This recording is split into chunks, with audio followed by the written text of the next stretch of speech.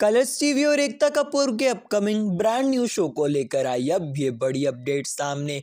TV industry के ये popular चेहरे हुए इस पॉपुलर शो के लिए फाइनल। क्या है फुल डिटेल्स? कलर्स टीवी के अपकमिंग ब्रांड न्यू शो से जुड़ी हुई। आइए जानते हैं आज की इस एक्सक्लूसिव वीडियो में।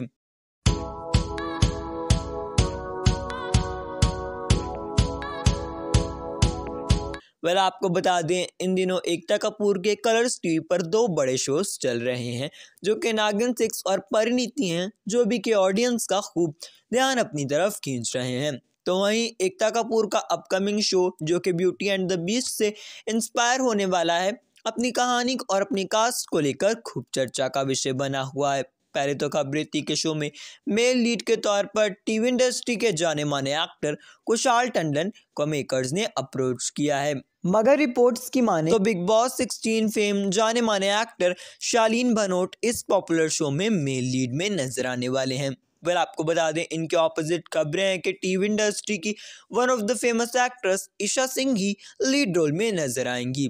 आपको बता दें, शालीन भानोट इन दिनों तो बिग बॉस 16 से खूब चर्चा को बटोर रहे हैं, मगर रिपोर्ट्स की माने तो जल्द ही ये बिग बॉस 16 के बाद इस पॉपुलर शो की कास्ट को ज्वाइन करेंगे। इन दोनों ही स्टार्स के अलावा टीवी इंडस्ट्री के one of the most popular actress यानी कि मोनालिसा भी इस पॉपुलर शो के लिए कन्फर्म बताई जा रही हैं, जो कि इस पॉपुलर शो में एज नेगेटिवली लीड के तौर पर नज़र आने वाली हैं। बात की जाए शालीन भानोट की तो ये भी टीवी इंडस्ट्री के एक one of the famous actor हैं, जो कि इससे पहले सात फेरे सलोनी का सफ़र, राम सिया के लव कुश सूर्यपुत्र करण काजल, कुलवधु, नागिन फोर, भाग्य का जहरीला खेल जैसे बड़े बड़े शोज़ में काम कर कर खूब चर्चा को अपने नाम कर चुके हैं। तो वहीं खबरें कि टीवी इंडस्ट्री के पॉपुलर एक्टर शालीन भानोट, जल्द ही ईशा सिंह स्टार इस पॉपुलर एकता कपूर के अपकमिंग शो जो कि कलर्स टीवी के द्वारा प्रोड्यूस किया जा रहा है, इस शो में नज़र आने वाले हैं। तो वेल आप इन सारे स्टार्स को इस पॉपुलर शो में